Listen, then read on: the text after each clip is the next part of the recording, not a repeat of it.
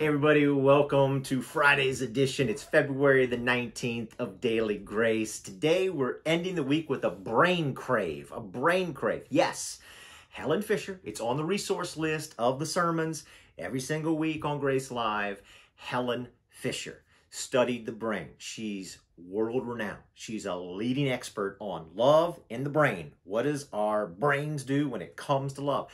Deep in our brain, deep in the male brain is the need for passion, sex, and attachment orientation. We want to attach to one person. It's deep in our, it's at the level of our brain that it's so deep, it's not changing.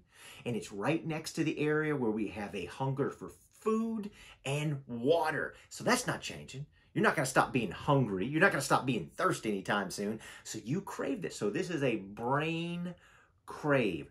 These three areas. Now here's the challenge we have got to figure out a way. And yes, the female brain is the same way, but we've been trying to focus on men because next week we're going to focus all on women. All right. So, men, we got to figure out a way how to get in sync with what our brain wants.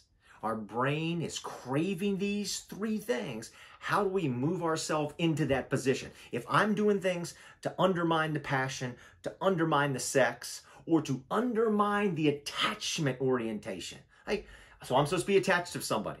But if I act like a jerk to the somebody I'm attaching to, that attachment ain't gonna go so well. All right, so what do I do to choose the right thing, the best thing, to put myself in a winning possession so that my brain feels happy and in sync?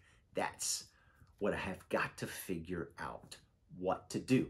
Jesus says, I've come to give you life to the fullest. Life to the fullest is when my brain is happy because I am taking notice of those three important things and I'm working towards them. Choose the right path. Choose wisely.